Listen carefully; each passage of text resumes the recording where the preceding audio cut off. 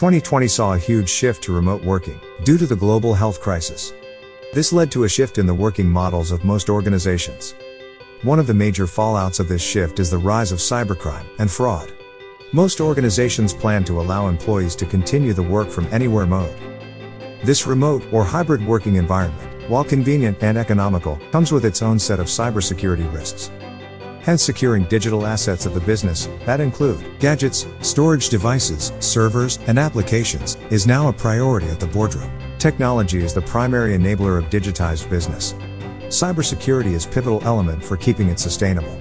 Allied Digital is a forerunner in managed security for nearly two decades.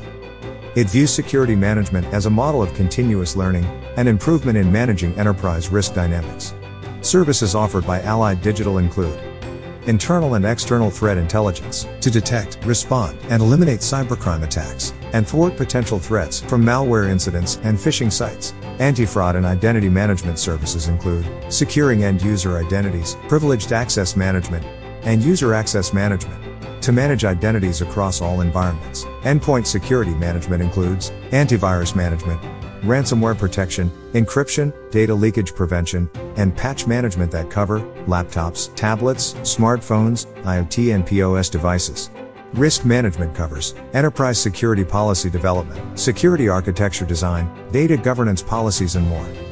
We follow the NIST standards for cyber risk assessment and management services. Cloud security service covers cloud security readiness assessment, cloud monitoring, and management. Our engagement models include security consulting, and transformation for on premises and offshore models. We provide 24 7 security monitoring, management, and response services. To know how our services will benefit your business, please contact us at ussales at.